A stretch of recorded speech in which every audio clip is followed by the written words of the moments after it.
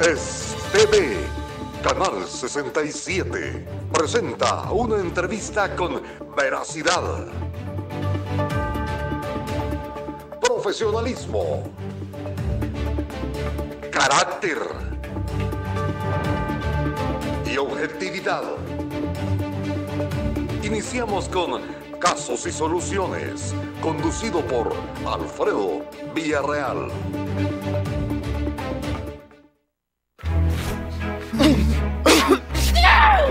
Siento que me está dando gripe. Viro, viro.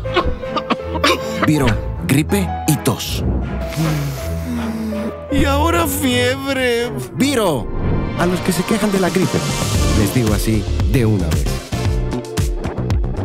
Si decís gripe, yo digo, viro, viro, viro, viro. Porque Viro Grip es mi tratamiento de confianza.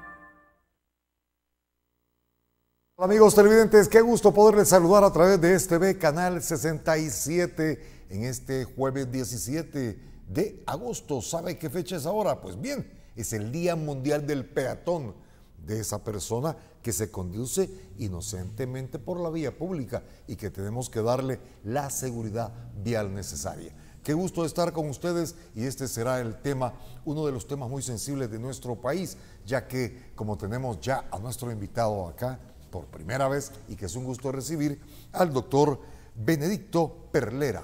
Él es el presidente de la empresa EDEM y consultor también del Viceministerio de Transporte, Obras Públicas, ¿verdad? Así es que pongamos atención, doctor, qué gusto saludarle, qué gusto recibirle en este Día Mundial del Peatón. Qué bueno que alguien tiene la sensibilidad, doctor, de cuidar al peatón en la vía pública. Muchas gracias, gracias al Canal 67 y a ustedes por darme la oportunidad de dirigirme a nuestra teleaudiencia. Hoy es un día eh, que se conmemora lo que es el Día Mundial de lo que es el peatón por muertes de accidentes de tránsito. De hecho, nosotros el día de mañana vamos a tener una actividad también en el departamento de Cuscatlán, precisamente el 18, donde nosotros hemos estado trabajando juntamente con las autoridades de nuestro país. Aquí se han sumado las empresas privadas, también hay instituciones autónomas y gracias a Dios a medios distinguidos como el que usted está ahorita presidiendo, nos han dado ese espacio para poder tener un fin común. Y el fin común es salvaguardar vidas y cuidar, y cuidar la vida precisamente del peatón. Es importante lo que usted me está diciendo, doctor. Eh, realmente nosotros acá tenemos esa sensibilidad. A continuación, eh, amigos televidentes, quiero presentarles el banner. El banner que significa esta actividad. Ahí producción va a proceder a colocarlo para que el doctor Perlera pues, nos explique los motivos de este banner que vamos a ver en estos momentos. Doctor, son dos banners, ¿verdad? Lo que ustedes han hecho. ¿Y nos puede explicar este?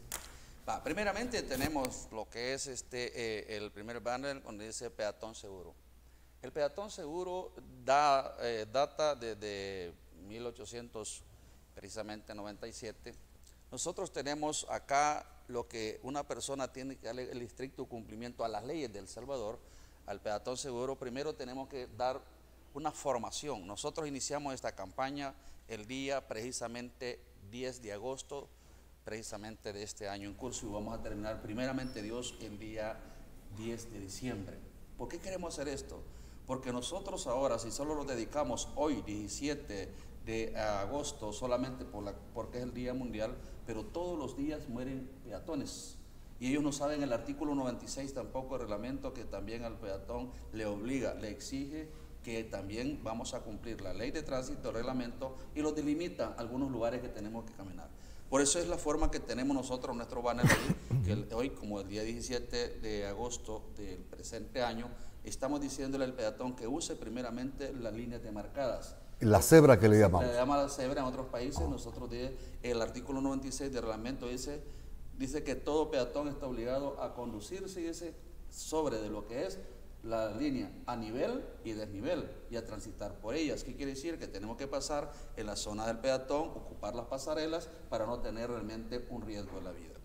Pero esto lleva un, derecho eh, a la vida pero una responsabilidad también de nosotros como motoristas y también como peatones, porque no todo el tiempo vamos a andar en un vehículo, nosotros nos convertimos en peatones. Y si aquella persona que carga responsabilidad de un vehículo no está totalmente instruida integralmente como tendría que ser, esa persona es realmente un enemigo silencioso para toda la sociedad como conductor temerario o conductor peligroso. ¿Por qué hago las dos variantes? Porque el conductor temerario es aquella persona que infringe el reglamento y está sujeto solamente a un acto administrativo. Y el conductor eh, peligroso es aquella persona que dentro de ello tiene que trascender, ya sea por alcoholemia o otras circunstancias, para que se pueda sacar esa diferencia. ¿Cómo no? Veamos este. En este tiempo, perdone, ahorita ya con la nueva reforma también del Código Penal en su artículo 147E, establece también de que ya esto ya no trasciende solamente a una, a una sanción administrativa, hoy trasciende a lo que es un decomiso de la moto, también la multa y la detención de la persona. El automotor. Sí, y la detención del... Sea moto, carro, camión, lo que sea. Entonces, ¿qué quiere decir esto? De que mucha gente puede decir las autoridades son malas. Quizás las malas decisiones que nosotros tomamos nos llevan a esclarecer este día 17 de agosto, pero a mí no me alegran las estadísticas. A mí me alegra hacer campañas de prevención para que cuando nuestros compatriotas vengan de otros países en diciembre, desde el 10 de agosto los hemos nosotros propuesto con diferentes medios e instituciones hasta el 10 de diciembre para que nuestra gente venga, así como hemos combatido a la delincuencia, porque no vamos a combatir los delincuentes que no quieren respetar las leyes en materia de tránsito. Doctor, ¿este banner? Aquí tenemos la distancia también. Un comparativo de este banner es entre Costa Rica y El Salvador. Si usted puede ver este, este, este, este eh, paso de peatones está bien delimitado. Usted llega a Costa Rica, los vehículos paran, la gente pasa, pero si usted va a ver eh, realmente aquí por en nuestro país tenemos una deficiencia en lo que es nuestro peatón, en usar realmente los lugares indicados. ¿Qué pasa cuando una persona pasa aquí y lo golpea el vehículo que va entrando? Usted tiene que dejar por lo menos un metro y medio antes de llegar a la zona peatonal cosa que no lo cumplen las personas. Y si el peatón ya puso el pie y entró a ese lugar, todo conductor está obligado a cederle el paso también a lo que es. Pero con metro y medio de distancia. metro y medio de distancia, si usted ya usted llega a cualquier Como peatón. haya gente o no haya gente, el vehículo que va tiene que tener metro y medio de distancia donde está la línea demarcada que tenemos en Aunque no haya semáforo. Aunque, aunque no haya semáforo. Pero eso no lo cumplimos aquí, doctor. Ese es el problema. Aquí no lo entendemos mucho. claro, pero está en nuestra ley. y están, y las calles tienen esas líneas, doctor. Y los peatones las pasan, pero los autos se dejan ir, no frenan. Entonces, esa es, nuestra conducta. A, mí me preguntaba en otro medio de comunicación, doctor, ¿en qué resume usted el problema de seguridad vial? Digo yo, en cultura. No conocemos. No conocemos debemos de ser instruidos en ello. Desafortunadamente a nuestros eh, televidentes del Salvador y el mundo entero, porque este no es solamente un, problema del Salvador, es un problema mundial. ¿Cuántas personas realmente fallecen a diario? Es una tristeza que hasta que te toquen a ti vas a reflexionar que la, pensar en los demás, la verdad cuesta. Pensar en el mí como mi persona, como el yo, yo, yo, yo, yo, yo, eso es fácil. Pero andar en un vehículo, yo no sé si usted, yo el día de mañana lo puedo coleccionar, usted conoce, yo no, y usted tiene derecho a la vida yo irresponsablemente se la voy a quitar. Y esto no reconoce raza, sexo, ni religión, ni estatus sociales. De aquí, desde la persona más grande empresarialmente hasta el más pequeño que andamos en la calle, en la avenida, el eje preferencial, estamos expuestos a perder la vida. El amor de Dios, esto es algo serio. Esto es, un, esto es una, una situación más peligrosa que la guerra que tenemos en el mundo. ¿Cuánta gente muere diario? ¿Y por qué no le damos el sentir eh, eh, real de la verdadera eh, solución de pensar en los demás, en cuidar la vida de nuestra gente? Si usted puede ver las guerras que han habido, la pandemia que ha habido, le han dado tanta relevancia, le han dado tanta la noticia, pero hay un enemigo en la calle que se llama ignorancia en seguridad vial y nunca le damos la certeza jurídica que quiere el peatón y la preparación que se debe dar también al conductor para convertirlo en motorista. ¿Por qué digo esto? Porque el artículo 150 del reglamento es bien claro.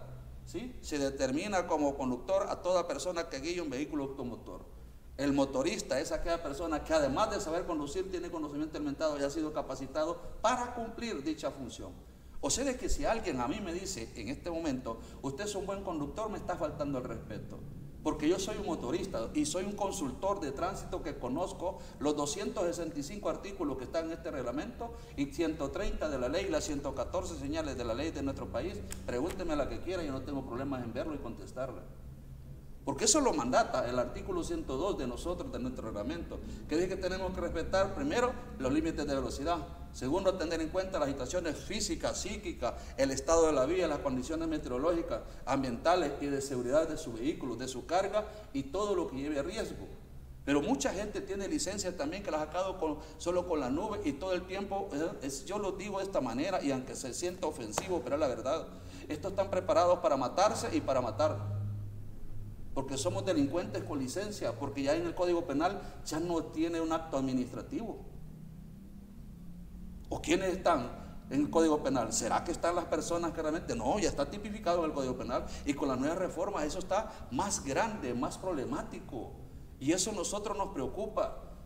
Miren, Edén ha trabajado tanto tiempo, más de 15 años, en apoyar a todas las instituciones y, señores del gobierno y así estamos nosotros trabajando para ellos. Esto no es de ganar protagonismo, en amor de Dios, este es de sensibilidad. Si a usted realmente le hubiera enseñado las fotos donde andamos nosotros y que hay muchos medios de comunicación que les agradezco públicamente que han andado conmigo acompañándome en las alcaldías a nivel del país. Mi estimado amigo, tenemos nosotros y amigo que me esté eh, viendo también, que andamos allá en el campo, en aquellos lugares donde realmente la educación no llega Edén llega realmente a dar las capacitaciones y acreditaciones y certificaciones a más del 80% de la gente que está viviendo en esos lugares. No tiene licencia, pero tiene moto y tiene carro, tiene pique y camión. Esto es grave. Doctor, queremos saber... Una epidemia grande. ¿eh? Doctor, ¿cómo están las cifras de fallecidos y heridos por accidentes de tránsito en lo que va de este año y qué como a comparativo del año pasado?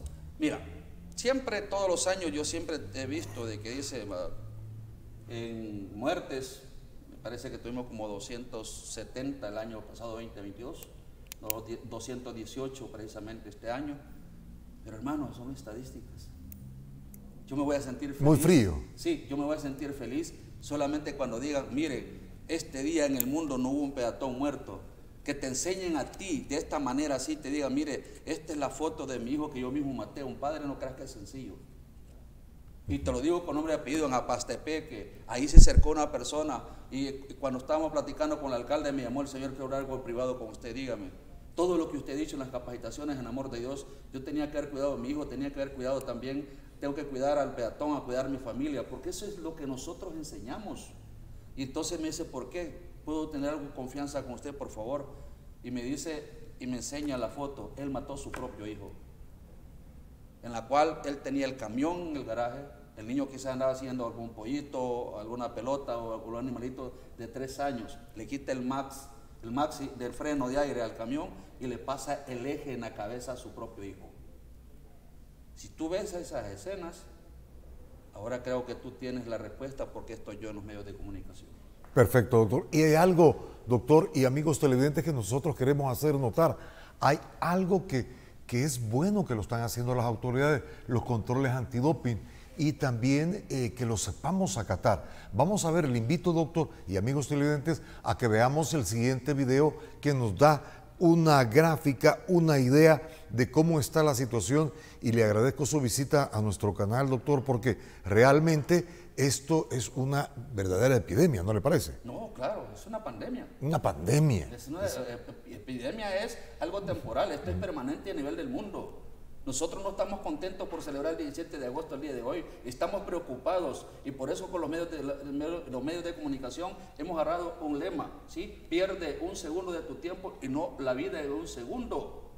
¿Sí? Y de igual manera vamos a alzar la voz y decirle, a decirle también al conductor, conductor, cero muertes y golpes a los peatones. Porque usted no haga lo que no le gustaría que le hagan. Sabemos que las avenidas y las calles están con cantidades de vehículos, pero ¿por qué si quiere llegar luego no se levanta temprano? ¿Sí? Eso no es culpa también de las autoridades. Y perdónenme, yo no parto de la, de la idea, y lo he dicho siempre con las autoridades también, y lo digo públicamente y lo sostengo, yo le apuesto a la prevención y la enseñanza. La represión tiene que ser la última. Pero si hay estrategias objetivas, educativas que podemos ejecutar juntamente con nuestras autoridades. Y una de ellas es importante, que si tú quieres sacar la licencia, que te manden también a una capacitación antes de tenerla. Si quieres tener tu tarjeta de circulación, ve. Pero mucha gente lo tiene negativo, piensa que la policía o el Estado está haciendo algo malo, contrario, me están cuidando. Si la ley y el reglamento, la ley es la, la coercitividad del Estado. El reglamento son los derechos y deberes de un motorista. Si yo te doy a ti un test como escuela de manejo, soy el más falsante que puedo ver. Porque no hay mejor test y tenemos la mejor ley de Centroamérica y Latinoamérica es la de El Salvador. Lo digo con propiedad y con orgullo. Aquí tengo las demás leyes de los demás países donde ellos han aceptado públicamente y los consultores dicen El Salvador es un referente en sus leyes. ¿Sabes cuál es un problemita que yo lo veo 10 años más tarde? Por todo el espacio territorial que tenemos, solo 21 mil kilómetros de, de distancia. Para vivir hacia arriba, ya no te puedes extender porque tenemos gente en el campo. Claro. ¿sí? Las calles de la avenida son pequeñas, pero nadie sabe ni siquiera a qué velocidad pueden andar dentro de la ciudad. He interrogado abogados, enfermeros, magistrados, fiscales, eh, gente común y le digo, ¿a qué velocidad va a andar usted dentro de la ciudad cuando hay bastante flujo de carros y, personas? Ah, yo creo que 50, 60, mentiras. El 146 de reglamento te obliga a ti a pasar a 10 kilómetros por hora. Es una falacia que te pongan también este, eh, eh, eh, velocidad 30. No, si el reglamento es claro y el reglamento no está, no está reformado. Y si vamos fuera de la ciudad, desde el 145 te dice que en línea recta máximo son 90 kilómetros por hora. Pero eso no es en todos los lugares. Los lugares realmente que son 90 kilómetros por hora puede ser yendo después del aeropuerto para Zacatecoluca, sería los 90 kilómetros por hora. Pero si usted sale precisamente de la capital para el aeropuerto, ¿sabía usted que la máxima velocidad es 60?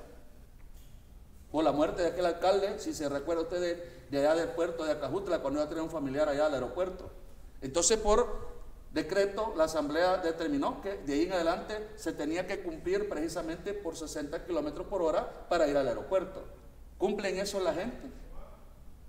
Ah, Están jugando con la vida de ellos, están jugando con la vida de su familia, están jugando la vida con los niños que van a darle la despedida al aeropuerto a su gente. Así es. Están, están jugando con la sociedad.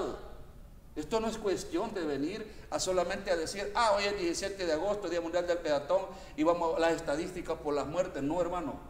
La prevención es la mejor antídoto de un cáncer que se puede tratar ahorita. ¿Qué sirve después tener quimioterapia si hoy tenemos esta fecha? Y nosotros no vamos a quitar el grito y la voz con nuestros medios que nos apoyen siempre. Y gracias públicamente también a este, este canal 67, porque se está sumando a una responsabilidad social con un fin de proteger al ser humano, porque este mensaje está llegando al Salvador, a Centroamérica y al mundo entero en las redes. Gracias a Dios por los medios que podemos difundir. Y usted como peatón le puedo decir, usted tiene realmente un derecho a la vida, el derecho a la libertad. Su vida vale oro, no la arriesgue y también haga caso omiso cuando una persona realmente le falte respeto, porque a veces también los tratamos a la gente.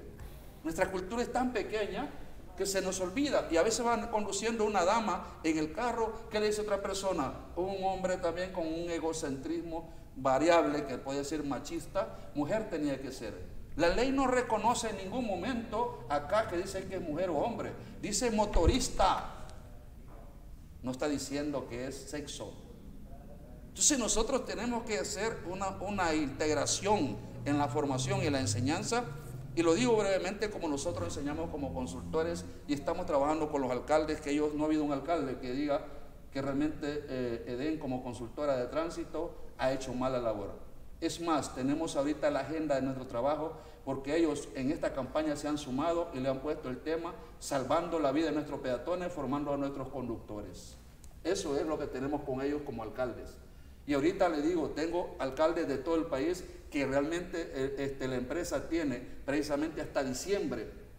Ya full, estamos trabajando los fines de semana y estamos llegando donde aquella gente que nadie le interesa, porque la niña bonita siempre es en las capitales del mundo, donde hay donde hay este, eh, ciclovías, donde hay bonitas pasarelas, bonitos edificios. Pero ¿qué pasa con mi gente en amor de Dios, de aquel pueblo, de aquella ciudad, de aquel cantón, de aquel caserío, donde con orgullo lo digo, de ahí salí, emigré a la capital por necesidades que creo que muchos hemos hecho. Pero no te olvides de dónde venís y ahora le tenés que devolver algo de lo que has aprendido y te has sacrificado a tu gente. ¿Y por qué no hacerlo a nivel del país y a nivel del mundo? Muy bien, doctor. Eh, bonita la exposición del doctor y hay que tomarla muy en cuenta, amigos, porque si somos motoristas o somos peatones, así es que tenemos una responsabilidad que, que enfrentar, que desarrollar. ¿Verdad? Así es que vamos a nuestro primer espacio publicitario. Esto está interesante porque al volver estaremos viendo casos sumamente delicados que se han visto en la vía pública. Así es que ya volvemos luego de estas sugerencias para usted.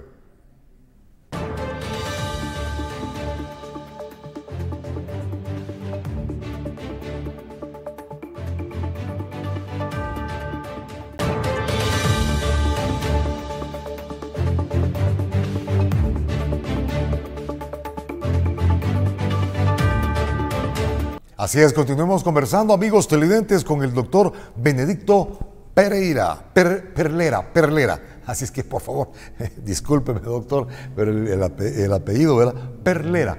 Hay un aspecto que queríamos eh, tocar sensiblemente, estimado doctor, que es el conductor, como usted dijo, peligroso.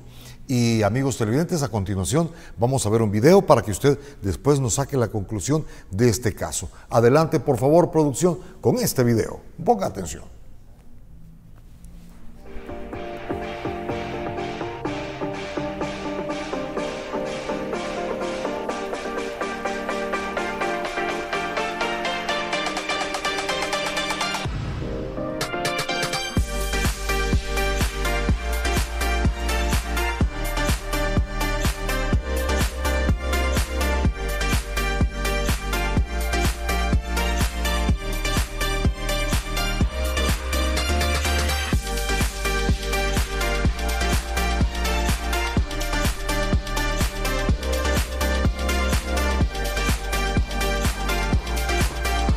Doctor, la conducción peligrosa, ¿cómo la podemos observar en nuestro país? Hemos visto un video de controles, pero esto no ha bastado.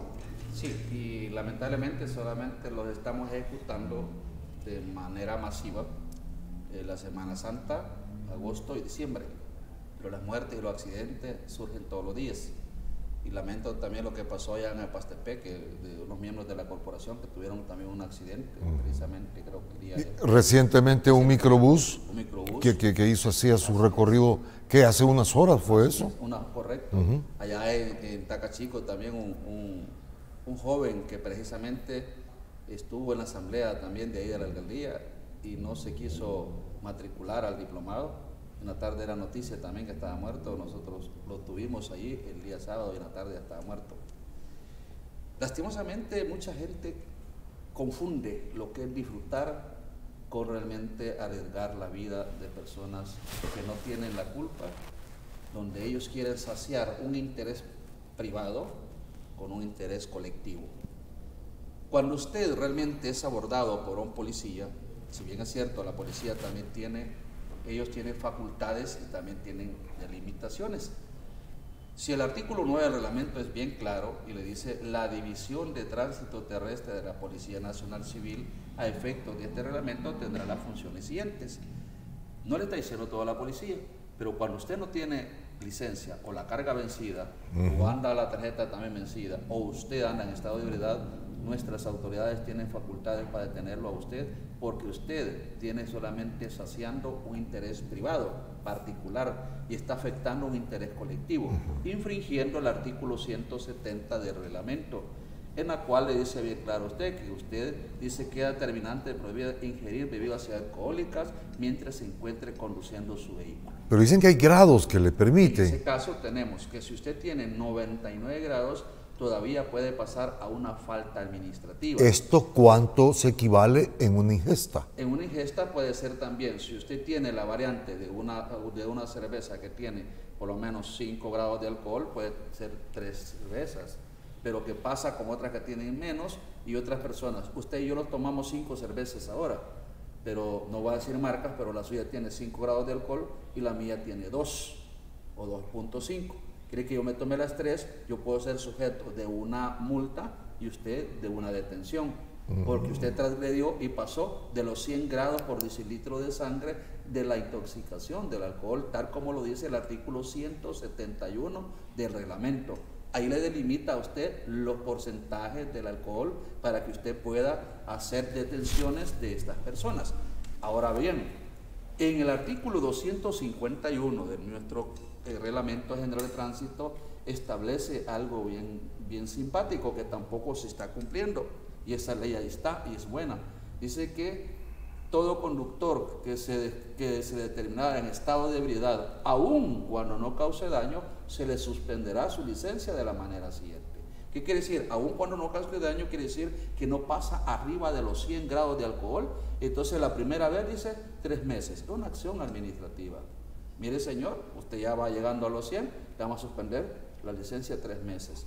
Pero si aquella persona ya trasciende realmente de los 100, la autoridad está facultada para detenerlo. Ahí vi que tenía uno 143, el otro tenía 91, el de 91 se fue y el de 143 lo esposaron, ¿cierto? Que estaba cumpliendo nuestro agente también. El artículo 9 porque es de tránsito, lo vimos. El 170 porque el hombre ingirió bebida alcohólica sin pensar en lo que podía producir. ¿Qué hizo nuestro héroe policía? Evitar que esta persona pueda quitarle la vida a otra persona, ya sea a un peatón, por el día de hoy que estamos diciendo no queremos conductores peligrosos ni temerarios que maten peatones. Entonces, ¿qué hizo nuestro policía con ese accionar? Evitó que éste fuera a colisionar a otra persona matar a un, a un transeúnte, a un peatón. ¿Dónde está esa base legal? Precisamente está en el artículo 165 del reglamento. Y si alguien considera que no estoy diciendo las cosas correctas, lo invito y lo abra y que lo lea cualquiera de las personas. ¿Por qué? Hemos llegado a enamorarlos tanto de nuestra función, porque esta carrera, bueno, el suscrito ha sido capacitador en la Federación de Abogados de mi país, también soy miembro de la Liga Mundial de Abogados, también como abogado de la República, y le digo esto, en una materia común de la universidad o cuando yo evaluado tesis, yo le puedo pasar una materia a una persona para no, no causarle efectos retroactivos los cinco años que trabajó. Pero en tránsito he tenido yo la dicha de capacitar a muchos abogados de la República y cuando los he evaluado, el que mejor nota me ha sacado, me ha sacado 2.5. Ahora bien, quisiéramos que le, eh, usted ha dicho algo muy importante. Eh, la situación vial de nuestro país grave, peligrosa, pero por desconocimiento e ignorancia. Doctor, ¿cuál es el procedimiento, procedimiento cuando a una persona se le detiene bajo los efectos del alcohol que ha pasado los 99 grados, como usted dice? ¿Cuáles son los procedimientos? para que se enteren nuestros amigos televidentes y tomen en consideración lo que se va a afrontar. Sí, de hecho, eh, lo digo con sumo respeto, un abogado eh, me mandó a llamar hace poco, no voy a decir nombre porque la ética del, del abogado tiene que ser esa, siendo abogado, pues también pues, le aplicaron también lo mismo suspensión de las garantías constitucionales que estamos viendo ahorita. Con las nuevas reformas queda también eh, el análisis integral del derecho también del juez, que usted tiene que estar sometido ya con los nuevos procedimientos que vienen a lo que es un procedimiento sumario y que muchos jueces son de la, de la idea que los 60 días ya usted los permanezca también en las Bartolinas para mientras usted lo único que le queda es aceptar el cargo o aceptarlo. Porque usted si anda sin licencia está consciente de que usted anda infringiendo la ley. ¿Cómo puede decirle al juez o puede decirle, mire que yo con esto me gano la vida, que por la necesidad ponemos un resto de, cosas periféricas que no, no, van más allá de la legalidad del Estado? Entonces, ¿qué hace el administrador de justicia? Sí, ok, vamos a, a detenerlo y dice la fiscalía, mire, pues aquí este señor, si golpeó a una persona, tenemos problemas que vaya a escaparse del lugar. Peor si no cumplió el artículo 177 del reglamento. ¿Qué tiene que hacer una persona? Cuando está en estado de ebriedad, él no va a estar consciente ni seguro de lo que está haciendo. ¿Qué es lo primero que va a hacer? No le interesa la vida de otro, va a salir huyendo. Pero una persona que es un verdadero motorista, ¿qué es lo que le enseñamos nosotros? El artículo 177 del reglamento dice que toda aquella persona, que ya sea por una imprudencia del peatón, que ya lo voy a explicar, entonces tenemos que darle los primeros auxilios al hospital o clínica más cercana. Y esta misma base legal del 177 dice, y estas circunstancias le servirán como atenuantes y no se le detendrá hasta que se deduzca plenamente la responsabilidad. O sea que tenemos también una excepción. Cuando usted carga sus documentos en regla, está eh, realmente en sobriedad, que no anda ebrio, también tiene derecho de demostrar, mire, no fui yo la intención de golpear este peatón. Por eso es la palabra del siniestro que se llama accidente. ¿Sí? ¿Por qué? Porque no existe dolo, no existe premeditación cuando carga su licencia. Pero realmente nadie sabe. Cuando no carga la licencia, hay dolo. Pero realmente, doctor, nadie sale de su casa pensando que va a tener un accidente de tránsito o se va a pasar pasando un peatón. No, sí, por eso se llama. Es muy rarísimo que alguien salga de su casa. Nosotros realmente le digo, yo siempre digo esto, lo radico, esto es igual que la palabra de Dios. Mi pueblo perecerá por falta de conocimiento. ¿Y qué hace realmente tanta gente que muere, tanto como el conductor y los peatones? Es por falta de conocimiento. Pero el artículo 89 de la ley establece también, dice que el Ministerio de Educación, en coordinación con el Ministerio de Transporte, establecerán programas educativos. ¿Y qué es un programa educativo? Donde a usted, a mí, desde parvularia, nivel básico, bachillerato y la universidad, nos tienen que instruir sobre la materia de ello. Si comenzamos hoy, 10 años más tarde, estaremos a tiempo de tomar y tener realmente otra conducta distinta a la que estamos viviendo hoy. Y este día 17 de agosto no lo estamos celebrando, lo estamos alzando la voz que ya no queremos más muerte. De niños, de ancianos, de jóvenes y personas con capacidades especiales que andan en la calle, en la avenida y no saben cómo también transitar. Usted está sugiriendo entonces que en los planes de estudio desde pequeños parvularia debería de haber una materia en la cual, por decir, una materia vial para que nos vayamos educando desde parvularia, que, sería lo... No lo digo yo, ya está en la ley. ¿Y por qué no lo hacemos entonces aquí en los colegios? Ni en la parvularia, mucho menos en la universidad. Hacen de vez en cuando que solamente le dan una señal, que lleves un semáforo, en el amor de Dios, esto es, esto es determinante. ¿Por qué? Y lo digo con sumo respeto. Hay muchos que no les interesa que usted y yo sepamos de esto. Porque aquí hay tantas muertes y hay gente que tanto que tenemos que cuidar que esto se puede convertir en un negocio excesivo. Las funerarias de qué comen. ¿Sí? Y lo digo con sumo respeto. Tenemos el otro, el otro tema que estamos hablando con la gente y los medios que yo, yo me he despojado el día de ayer. Yo tuve reunión con unos medios también y donde ellos se suman a esta campaña porque están conscientes que salvar la vida y no quieren vivirlo en carne propia porque ustedes mismos andan en la calle, en la avenida, consiguiendo esa información dándosela al público. ¿Y qué pasa también cuando golpean también a uno de nuestros periodistas? Si todos estamos expuestos, hermano. Toditos estamos. Doctor, ¿qué tal si analizamos el siguiente caso, producción? Eh, nos pone en recuadro y podemos, el doctor va a ir eh, explicando este caso de un accidente de unos conductores muy irresponsables, me parece. Eh, bueno, adelante. Doctor, en recuadro usted puede explicar esto. ¿Nos puede explicar? Ahí estamos viendo que el de la motocicleta va haciendo lo correcto en base al artículo 98, numeral 16. ¿Por qué digo esto? El artículo numeral 16, 98, eh, numeral 16, obliga precisamente a lo que es el, motociclista que camine en el carril derecho. El, motociclista está haciendo lo, lo correcto. ¿Qué hizo el carro blanco? Si vemos nosotros la imagen, él infringió el artículo 121. Mire, doctor, qué golpe más tremendo. Ese hombre iba a 60, 80 por hora. Ah, entonces, ¿qué quiere decir esto? De que esta persona no conoce la ley de tránsito, no conoce el reglamento. Y en el reglamento específicamente, en el artículo 121, dice que usted tiene que caminar a la distancia, óigame bien, 3 metros por cada 10 kilómetros. 3 metros por cada 10 kilómetros. Y si usted ve la distancia con la gravedad que va ese señor del vehículo, no respetó eso.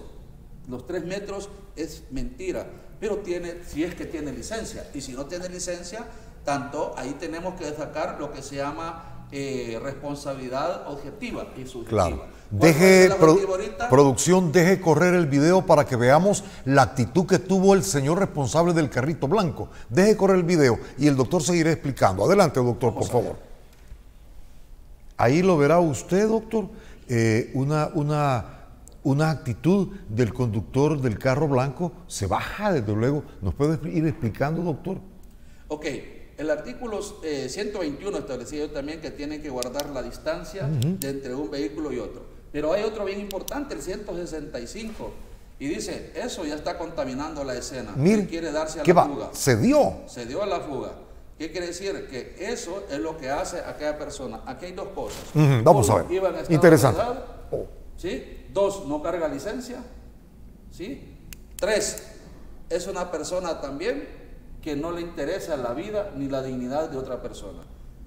Realmente le digo, en el 90% los conductores de motociclistas son muy irresponsables.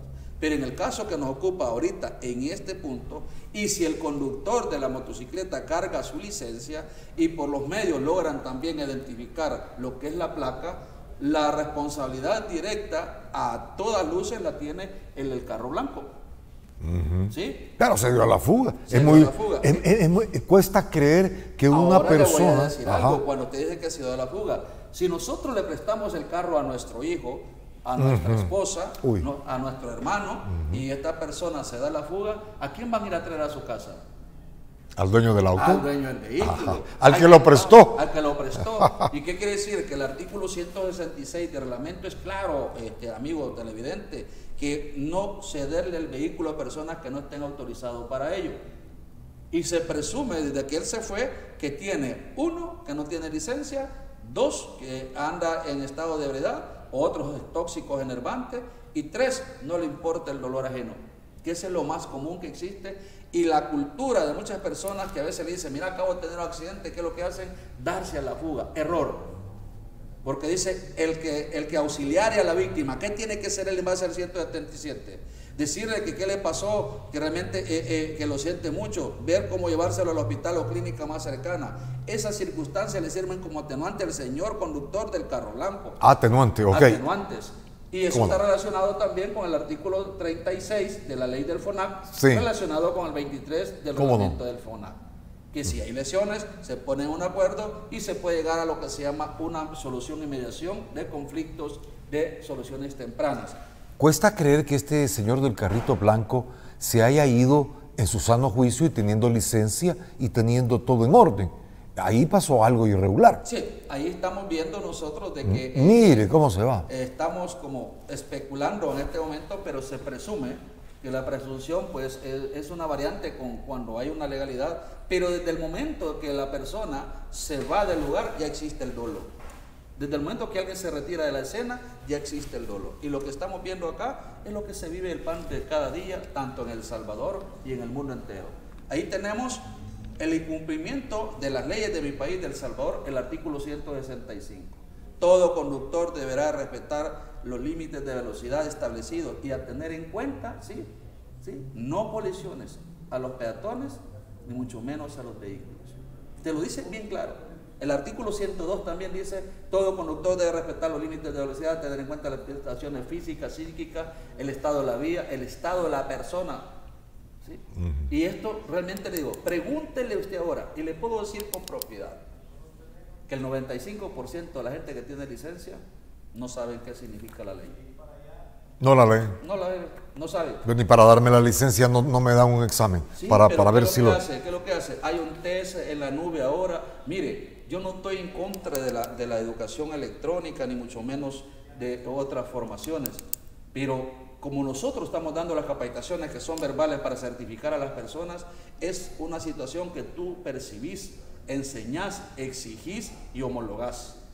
La homologación es porque tú andas infringiendo la ley, te hago recapacitar, se te hacen las evaluaciones, se lleva también el sistema de cómputo, se lleva también la situación psicológica, se lleva también a la unidad médica, se lleva también a la unidad este, oftalmológica y también se le da la posibilidad de esa gente. ¿Por qué? Estamos invirtiendo tanto que el 70% prácticamente de lo que es eh, eh, el presupuesto de salud se va en los accidentes de tránsito, en los hospitales.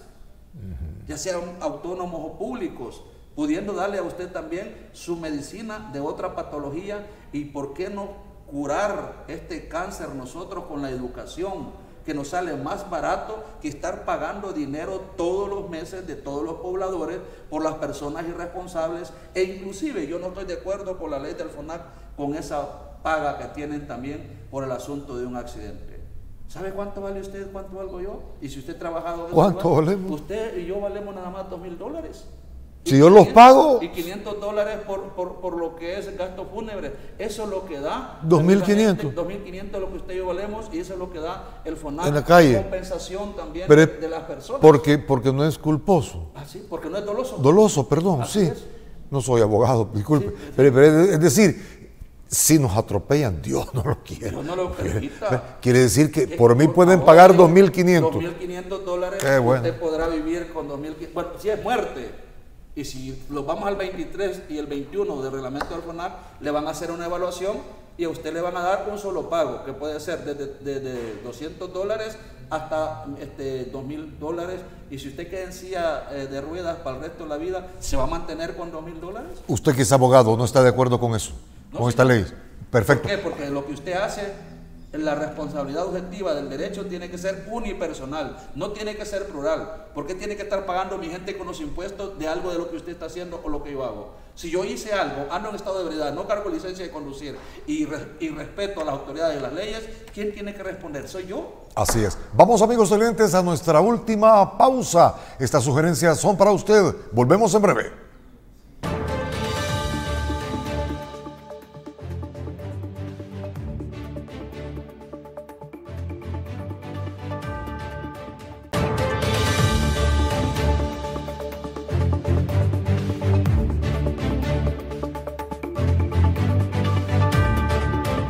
Este interesante tema. Y fuera de cámara estábamos aquí con los compañeros y con el doctor Perlera y compañeros periodistas conversando de que por el día a día, por estar atendiendo el día a día, cuestiones, bueno, que nos llaman la atención, nos olvidamos de algo muy importante, la seguridad vial. Se nos olvida que salimos a la calle, se nos olvida que encendemos el automotor y ahí está la cuestión. Doctor, si usted no está de acuerdo con estas medidas eh, de tránsito, eh, ¿qué se puede hacer? Seguimos, de no, no hay educación, ya vimos en la Lo- eh, ahí sí quiero aclarar. No estoy de acuerdo en el pago de 2 mil eh, dólares más 500 de lo que es la remuneración por, los, por las víctimas, porque tenemos nosotros como ciudadanos acá en El Salvador, subsidiariamente estamos pagando una irresponsabilidad del conductor de una mala conducta que transgredió la vida y la seguridad y la integridad de una persona. Si él lo hizo, que responda. Yo recuerdo que antes que entrara a esta ley, que por cierto la hicieron los gobiernos anteriores, recuerdo bien claro que eh, yo les hice saber unas observaciones y les dije, señores, aquí yo antes de eso, bueno, si la persona es lista, se fue por la ley del FONAC y me imagino que como es lo más favorable a la persona que estaba condenada en ese momento, se, va, se iba a parar y le iba a dejar desamparado a una persona de ella. Yo lo condené a una pensión vitalicia, yo representé a una persona antes de que entrara la ley del FONAC a una pensión vitalicia de una persona que quedó en silla de ruedas, donde él tenía que aportarle en aquel momento, tal vez no era la gran cantidad, pero ya había entrado el dólar, precisamente estaba dándole eh, eh, 85, 90 dólares vitalicios donde ese hombre en que sea podía aportar, que sea para el agua, para la luz, los recibos. Pero imagínense a una persona ahorita, eh, si está lesionada, le van a dar un solo pago o un poquito de dinero y esta persona cómo queda. Pongámoslo al extremo, el extremo más grande, esta persona queda un solo tendida en en la cama. Tiene razón, Ojo, doctor. Entonces, ¿cómo yo voy a pagar? Si yo a usted le hago un daño, ¿qué tiene que ver lo de la sociedad? ¿Por qué voy a ocupar los fondos de la gente para ocupar los errores míos? Si yo los hago, pues entonces yo tendré que ver cómo, cómo poder responder. Ya tenga que sea económico, ya tengo que ver cómo hago para poder subvencionar el daño que he hecho con las personas. Y algo que me llamó la atención en Belice también, y lo digo así con propiedad, porque puede ser cualquier una isla, pero allá todo vehículo, al más viejito no hay uno que no tenga el seguro.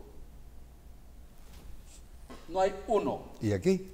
Y aquí hasta las aseguradoras te ponen condiciones a ti para que el vehículo, si no es de este año, no te lo aseguran. Si el vehículo, en amor de Dios, no tiene la culpa, si quien tiene la culpa es quien dirige el vehículo. Mucho mercantilismo. Sí, mucho mercantilismo, el amor de Dios. ¿Sí? Ahora vámonos con los teléfonos celulares. Esto se llama adicción y distracción, muerte. Porque por eso estamos matando tanta gente por estos teléfonos. Vas con él y de repente, pum, le pegaste a un peatón. Vas pegando así. Ese carro blanco puede ser que este es el fenómeno, factor común. El teléfono. ¿Sí? Y el teléfono lo dice el artículo 117 de la ley, precisamente falta 102A. Eh, dice que no puede llevar entre las piernas nada, ni tanto que te evite como teléfonos celulares, niños, perros y otras cosas. Pero la gente no sabe esto. Un examen que te hagan para tener una licencia no determina esto, en amor de Dios. Hay personas que tienen 30, 40 años y no han vuelto a agarrar la ley, ni mucho menos una persona que le haga saber cuál es realmente la responsabilidad de una licencia. En su momento la tuvieron, que la compraron, no me interesa. Ah, que tenemos un conocimiento empírico, pero no tienen la conciencia social que la vida se puede perder en un segundo y los peatones tienen derecho a vivir. Hay algo que se nos está yendo, pero lo vamos a abordar en estos momentos y es muy importante, doctor, para que usted nos hable. Adelante, producción, con este video sobre el transporte público de pasajeros, ¿verdad? Otro dolor de cabeza, nos van a poner el video para que de la misma manera el doctor Perlera lo comente, vamos al recuadro y díganos, doctor, cómo está la situación del transporte público del Salvador en nuestro país. Digo, en cuanto a para evitar todo esto, doctor. Ok, si nosotros nos vemos, el artículo eh, precisamente 95 del reglamento establece de que tanto el conductor como el peatón no pueden ir este, más de la capacidad de lo que dice también un autobús. Si el autobús dice 52 personas, esas son las que tienen que ir porque es el peso de agencia. No, aquí van ciento y pico. entonces, pero acá, si, va, si es de 52, llevan 90, llevan 100 personas. ¿Qué es lo que pasa? Bromeando dice el que anda de ayudante, tópense que lleva ropa. ¿Sí? Esa es la expresión. Y si no te gusta, bajate. ¿Pero por qué? Porque el que andaba lavando el, bus pasó a ser cobrador. Después pasó a ser conductor. Porque motorista jamás va a ser. Y después empresario. Y, después empresario. y siendo la misma persona que no pudo ni siquiera definir qué es manejo a la defensiva. Si yo le pregunto a cualquier conductor ahorita de buses o otras personas, a excepción a los alumnos de EDEN que sí saben lo que es el concepto y la base legal. El concepto que es manejo de la defensiva, dice bien claro, es el arte de manejar con cautela y precaución para evitar choques causados por malos conductores, librarse de mal tiempo y tráfico intenso. Eso dice el concepto de manejo a la defensiva. Y si eso nosotros lo, soportamos con el artículo 88 de la ley, está fundamentado. ¿Qué quiere decir esto? Que no están cumpliendo con el 95 mm. precisamente los buceros, porque llevan un exceso de carga cuando ellos frenan, no tienen la distancia para detenerse y cuando se golpea o se cae una persona, ellos siempre dicen, yo no tengo la culpa. Y hay un truco también que están ocupando y lo digo públicamente. Con esto de la ley del FONAC, ellos se escudan y fácil. Primero, no salen huyendo del lugar. Y tercero, cuando usted le quiere exigir, le dice, va donde, el dueño del bus, le, ve, yo no cargaba el bus, lo cargaba el conductor. Va usted el dueño del conductor, dice, yo no cargaba también el bus y, yo no soy el dueño, el dueño yo ando trabajando. Y en su mayoría casi no tiene licencia. Cantidad de gente que no tiene licencia y anda dando el servicio público, en amor de Dios. Y si vamos a ver también cantidad de gente que tiene cantidad de esquelas. Y las esquelas nunca te van a enseñar lo que es el reglamento. Pero si estos señores cada vez, cada, cada, imagínense que le hicieran dos veces por año obligatoriamente para que esta gente pueda optar a hacer un servicio público. No lo hicieron, no lo hacen. Pero ¿qué nos pasa? Aquí tenemos una ruta en El Salvador, de la cual yo la, formé y la enseñé hasta el día de hoy. Y pasas a ruta por el lado del, hospital militar, si tú le haces la parada, no te para. Y no te baja donde tú ¿Podemos saber cuál es? La 30B. Uh Miguel Castañeda. Sí. Y ahí está también este, una persona que es padrino de boda mío también, mm. que él me llevó para que capacitáramos a esa gente. Yo me monté en un buses de así, con lentes, con chores y todo. A un conductor le conté en un solo día 490 esquelas que no cumplían con lo que es la ley. Sacamos nosotros todititas las personas que eran un riesgo para mi país y para esa empresa, capacitamos a personas mayores y esas personas cuando está lleno el bus le dicen a uno, allá atrás viene el otro. Tenemos un ejemplo, vámonos a Guatemala, si tú vienes también de ahí para acá, si van 50 personas en el bus, los 50 vienen.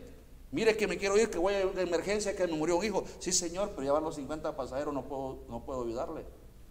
Ahí nomás en Guatemala. ¿Sí?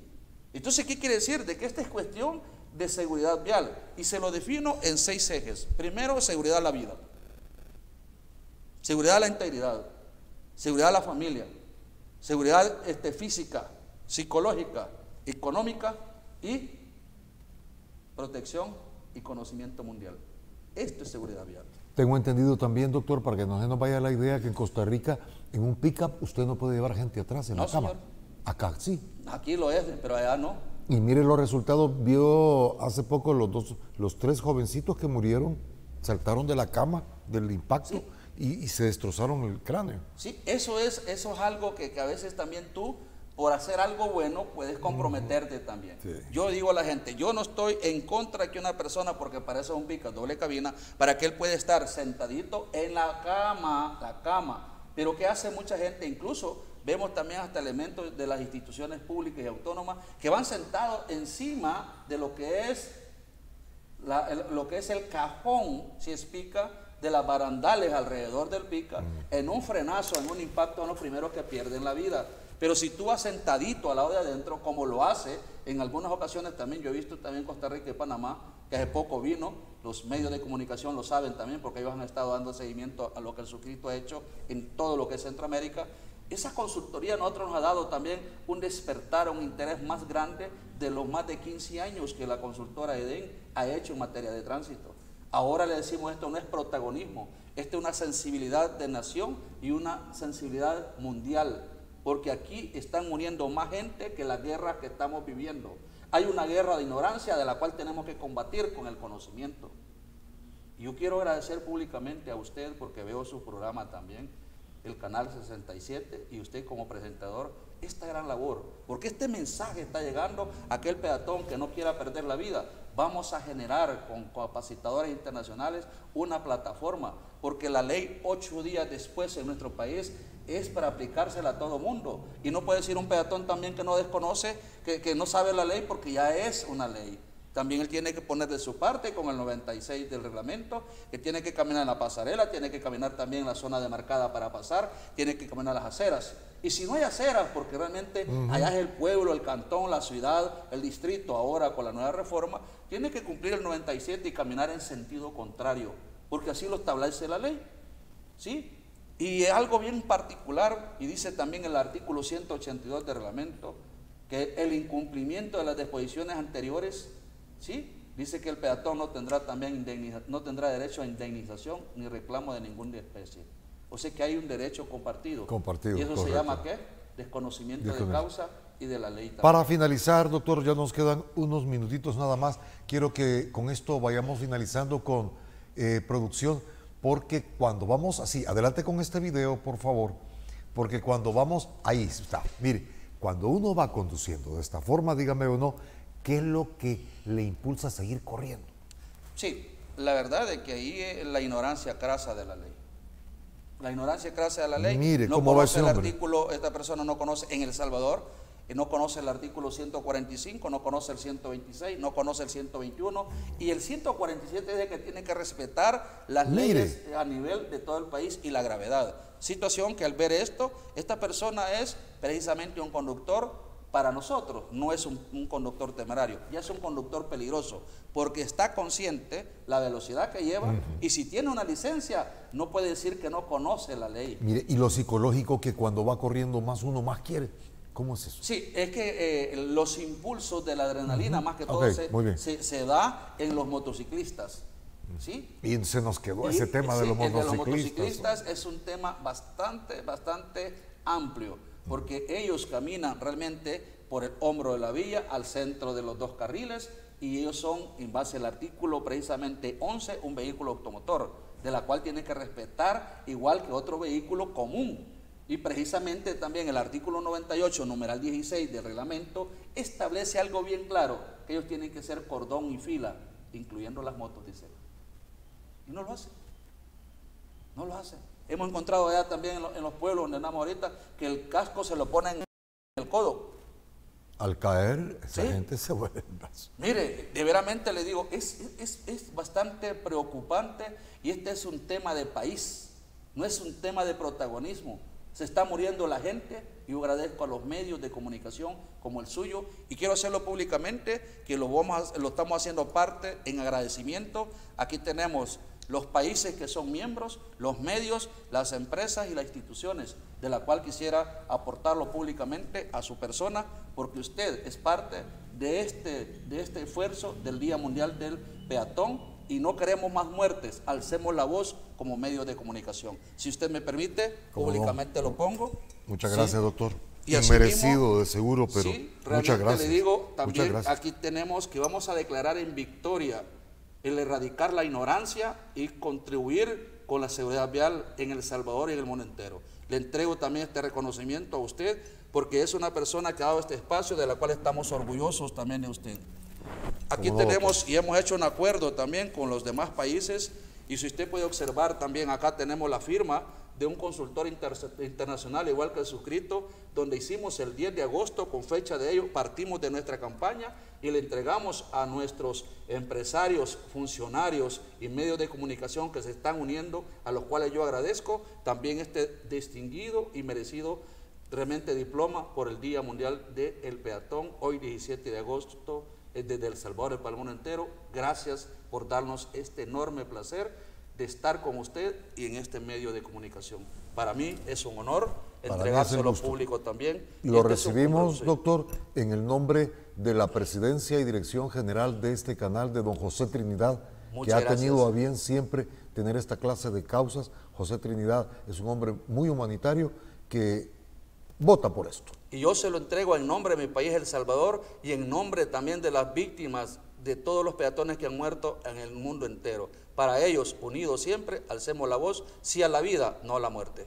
Muchas gracias, de veras. Gracias a usted, doctor. Eso es lo que nosotros hacemos y entregamos también este pequeño reconocimiento. Sabemos que si fuera por asuntos eh, mercantilistas, no tenemos para pagar un espacio como este, pero si lo hacemos por parte humanitaria, créame que estamos agradecidos en nombre de las víctimas del Día Mundial del Peatón, hoy 17 de agosto, y de verdad qué honor estar en su canal. Tiene un minuto, tenemos un minutito más para un mensaje final que usted quiera agregar. Primeramente quiero dar gracias a Dios, a la vida y a nuestros medios que nos están apoyando, tanto como las personas, eh, funcionarios públicos, y autónomos y privados que se están uniendo a esta, no es una campaña, es una formación, una, una sensibilización y un objetivo de salvar la vida a nuestra gente. ¿Por qué esperar que a ti te quite la vida una persona para que después te pronuncies?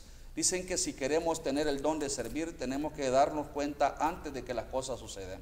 Usted como peatón sabe que va a ganarse la vida, pero también con un conductor puede ser que usted pierda la vida. Y nosotros no queremos ser parte de una estadística el día de mañana, estar en este medio dándola, sino diciendo que usted está viviendo hasta cuando Dios le quite la vida, no un ser humano irresponsable que se lo vaya a quitar, como un conductor que no me interesa cómo consiguió la licencia, pero si te puedes reivindicar, vamos a luchar porque nuestras autoridades pongan estrategias académicas para formar vitaliciamente a toda nuestra gente para cambiar nuestra cultura.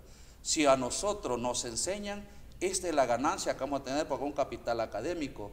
Pero muchas personas, usted que me está viendo, peatón, usted conductor, si a usted le dicen de que no vaya a una formación, a una educación, le están haciendo un gran daño, porque no le están queriendo un mal, al contrario, le están diciendo, haga lo correcto. Y algo bien simpático, de lo correcto nadie se arrepiente.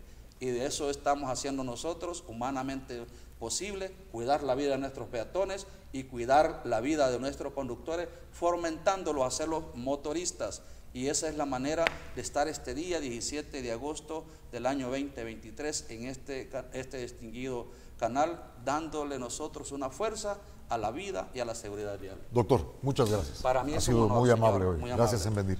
Pero sobre todo, amigos televidentes, tomemos en cuenta las recomendaciones que nos ha dado el doctor Perlera, la seguridad vial, somos peatones y conductores. Gracias. trataremos de hacerle mérito a este reconocimiento que nos ha traído el doctor Perlera a nuestro canal. Gracias a usted por su sintonía. En la próxima, de seguro, le tendremos mucho más.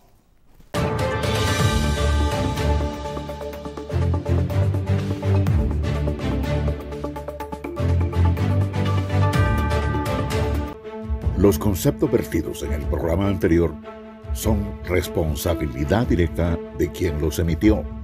En ningún momento representan la línea editorial de esta estación televisora.